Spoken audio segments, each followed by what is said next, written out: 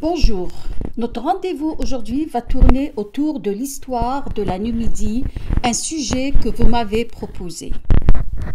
صباح الخير أو مساء الخير نلتقي اليوم لنتكلم في موضوع جديد وهو تاريخ نوميديا موضوع الذي اقترحتموه علي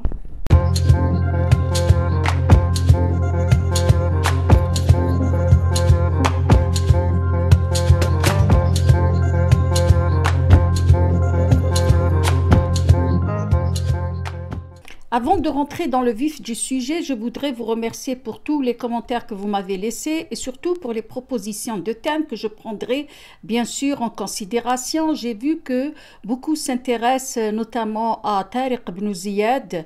Je vais euh, donc consacrer une vidéo à Tariq ibn Ziyad et à beaucoup d'autres euh, personnalités euh, historiques algériennes qui sont moins connues ou qu'il y a encore des ondes d'ombre autour de leur existence ou parcours. Euh, aussi, je vais consacrer une, autre vidéo euh, incessamment pour répondre à toutes vos questions. Donc, j'ai noté soigneusement les questions que vous m'avez posées et je vais apporter un éclairage, si vous voulez, à vos préoccupations. قبل أن ندخل في صوب الموضوع أشكركم على التعليق وعلى المواضيع المقترحة وسأجيب على كل الأسئلة التي طرحتموها في فيديو آخر يعني مخصص للإجابة عن أسئلتكم. وكذلك رأيت بأن الكثير يرغبون في أن نتكلم عن طارق بن زياد فسيكون ذلك في حلقة من حلقاتي. وأتمنى دائما أن أكون في حسن ظنكم La Numidie est le plus ancien et euh, le premier royaume fondé en Afrique du Nord. La Numidie est spécifique du fait que ce sont des, de la population locale ou des rois locaux qui vont fonder ce royaume de Numidie. Par rapport, euh, je dis ça par rapport à Carthage, qui a été fondé par euh, des colons fuyant Tyr. Tyr se trouve actuellement au Liban avec euh, à leur tête leur reine Alissa Didan qui vont fonder euh, Carthage en Tunisie bien sûr. Et nous avons également du côté ouest le royaume des morts ou des Moris qui ont été fondés, qui a été fondé après la Numidie, vu que les historiens à l'unanimité, je parle de, bien sûr des historiens de l'époque, historiens romains euh, et grecs, ont euh, approximativement situé la naissance de la, Numidie vers le deuxième siècle. Et euh, bien sûr, le, royaume de Maurie a été fondé vers le troisième siècle. cependant, euh, nous savons rien de la Numidie avant que les historiens romains et les historiens grecs ne s'intéressent aux affaires africaines. L'existence des royaumes numides, beaucoup plus ancienne que, que les dates avancées par les historiens, donc 2e et 3e siècle, parce qu'à cette époque-là, on n'a pas euh, beaucoup de sources pour connaître les premiers rois numides avant Gaïa. Cependant, il y a un roi qui va émerger bien avancé, qui est rentré dans l'histoire grâce surtout au tombeau des Medrassen que nous retrouvons dans la région des Aurès, qui appartient au roi Medris. Et Medris est considéré comme l'ancêtre des Berbères, l'ancêtre des rois numides. D'après Ubayd el-Bakri, c'est le roi du pays. Pour euh, Ibn Khaldoun, Medris serait donc l'ancêtre des Berbères, l'ancêtre des tribus berbères comme les Zénètes, les Sonhadj et les Jarwa et la tradition orale disait que la reine d'Iya venait se recueillir justement devant le tombeau de Imedrasen, considéré comme son ancêtre. Donc, le tombeau de Imedrasen, ou qui est dédié au roi Medris, est l'un des tombeaux les plus anciens, notamment de l'Afrique du Nord. Il est attesté au 3, du IIIe siècle. Euh, sa construction est attestée du IIIe siècle. تعتبر نوميديا أول وأقدم مملكة أسست في شمال إفريقيا. أقول أولى مملكة باعتبار بأن قرطاج كان مؤسسوها ليس محليون بل مستوطنون. هربوا من تير. تير موجودة الآن في لبنان مع على رأسهم الأميرة أليسا ديدون الذي أسسوا قرطاج في ممل في تونس الحالية. ولنا في الغرب مملكة الموري الذي أسسوا سنة الذي تأسست في حوالي القرن الثالث قبل الميلادي. لكن مملكة نوميديا حسب المؤرخين. مؤرخين ذلك الزمان أي رومانيين ويونانيين أسست حوالي القرن الثاني قبل الميلادي ولكن نستطيع أن نعتبر مملكة نوميديا أقدم من ذلك. تشهد المصادر التاريخية على وجود مملكة نوميديا بداية من القرن الثاني قبل الميلادي لكن نوميديا دخلت في التاريخ مع أو خلال الحروب البونيقية الأولى عندما بدأ المؤرخون الرومانيون واليونانيون بالاهتمام بالشؤون الإفريقية. لكن أول مرة ظهرت كلمة نوميديا ظهرت عند المؤرخ بوليب من القرن الثاني من القرن الثاني قبل الميلادي الذي تكلم عن نوميديا وذكر وقبائل نوميديا كانت مستوطنة في منطقة ما قبل قبل قرطاج حتى حتى نهر الملوية. إن بدأنا في الحصول على أكثر معلومات عن مملكة نوميديا في عهد بداية من عهد الملك جايا أبو ماسينيسا. هكذا تحصلنا على قائمة كاملة لكل الملوك النوميديين من بداية من جايا حتى آخر ملوك نوميديا بتوليمي اللي كان هو ابن يوبا الثاني. لكي نستطيع أن نرى بوضوح أين كانت تقع مملكة نوميديا. سنرى خريطة المنطقة خريطة يعني حالية ليست خريطة قديمة حتى نتفهم الوضع.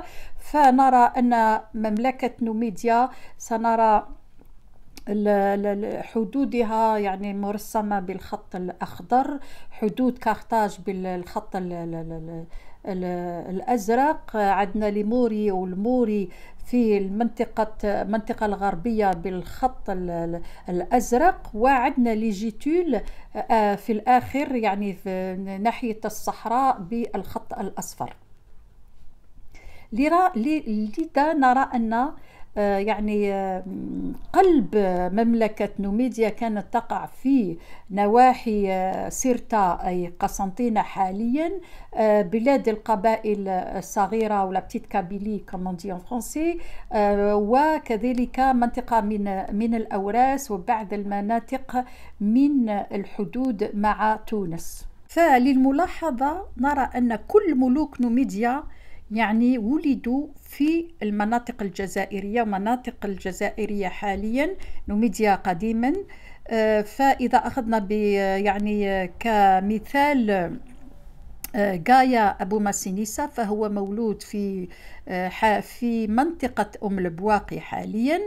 فماسينيسا ابنه ميسيبسا ابن أخوه جيغورتا كلهم زادوا في سيرتا أي قسنطينة حاليا ومثلا جيبا أو يوبا الأول وابنه يوبا الثاني ولدوا في منطقة عنابة حاليا. فبالنسبة لنوميديا الغربية التي كان يحكمها سيفاكس فنرى أن سيفاكس ولده فارمينا وكل سلالته ولدوا في الجزائر عبر حسب المؤرخين ما عدا أن لم يذكر المنطقة المحددة بالتحديد Le nom de la Numidie apparaît pour la première fois chez l'historien Polybe du IIe siècle avant Jésus-Christ. Il parle d'une population qui vit à l'ouest de Carthage jusqu'au fleuve du Melouya. Dans la première moitié du IIe siècle, euh, la, la Numidie occupait ou elle s'étalait sur le territoire qui allait des fosses phéniciennes qui séparaient la Numidie à l'est de Carthage.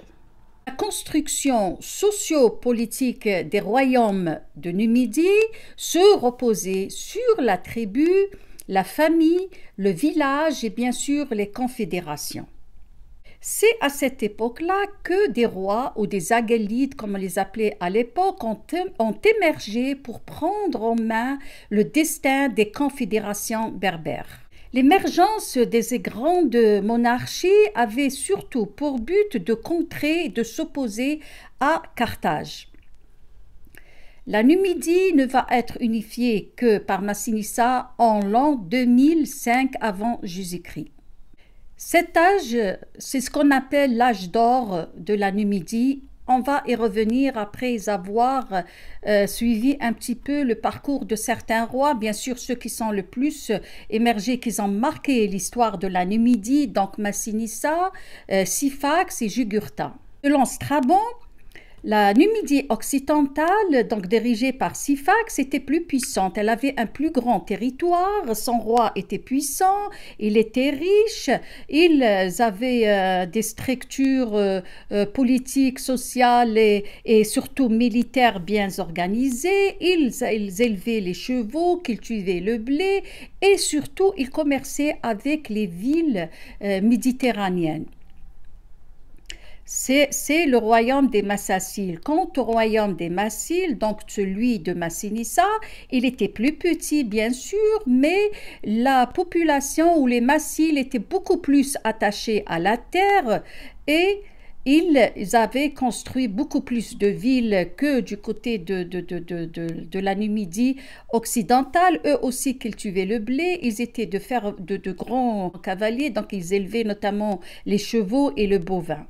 C'est à partir euh, du roi Gaïa que nous allons avoir de plus amples informations sur la Numidie et à partir de ce moment-là, nous, allons avoir une généalogie complète des rois numides, à commencer par Gaïa, le père de Massinissa, jusqu'à arriver au dernier roi de la Numidie, Ptolémée, le fils de Juba II. À cette époque-là, la Numidie était divisée en deux parties.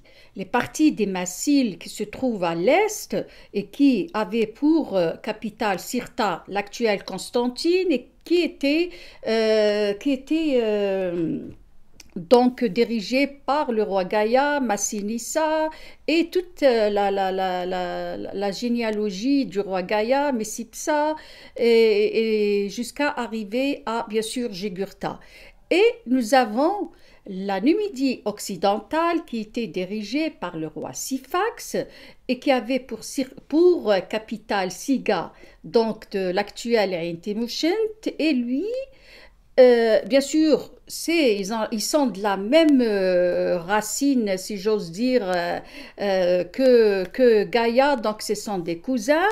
Et si nous regardons un petit peu l'emplacement de la Numidie sur une carte actuelle afin de bien comprendre euh, le territoire qu'elle occupait, nous allons voir sur cette carte que la Ses frontières, donc je, je, je, prends la Numidie unifiée, ses frontières sont en rouge, les frontières de Carthage en bleu, les frontières des Mauris en jaune, et nous avons à, vers le sud les Gétus, des tribus euh, berbères qui vivaient dans le sud, mais qui étaient sous l'autorité de Massinissa, qu'il faut bien préciser que c'était des Numides aussi, même si c'est on les appelait les Gétus, ils appartiennent à la Numidie, ils étaient sous le, ils étaient sujets du roi Massinissa. La Numidie est centrée essentiellement en Algérie. Donc son point central ou son noyau central se tournait autour de Sirta, donc de,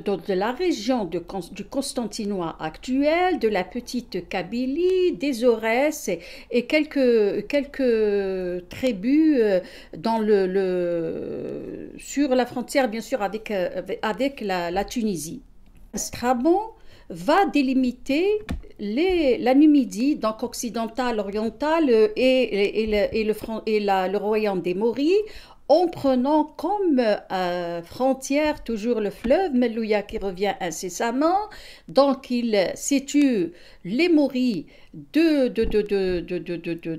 vers l'ouest du, du, fleuve Melouya et il prend la Numidie, donc à partir du fleuve Melouya, jusqu'à Cap Trétan. Cap Trétan se trouve aujourd'hui à Skikda. Maintenant, nous allons voir sur, le, sur euh, vos écrans, je vais mettre euh, l'arbre généalogique des rois numides. Ils se trouvent tous sur cet arbre généalogique et qui vont être tous un moment ou un autre roi de la Numidie. Si on s'intéresse un peu au lieu de naissance des rois numides, nous allons nous rendre compte que tous les rois numides sont nés sur l'actuel territoire algérien. Donc si on prend l'exemple de Gaïa, le père de Massinissa, il est né à Makamod, l'actuel Omlbouagui. Et son fils Massinissa, le fils de Massinissa Messipsa, son neveu Jugurtha sont nés à Sirta, l'actuelle Constantine. Quant à Juba I et Juba II sont nés par exemple à Annaba. Du côté de la Numidie occidentale, donc avec euh, Sifax, son fils Vermina et les autres fils, les historiens disent qu'ils sont nés euh, toujours dans les territoires algériens, mais ne précisent pas euh, les lieux, exactement les lieux de naissance.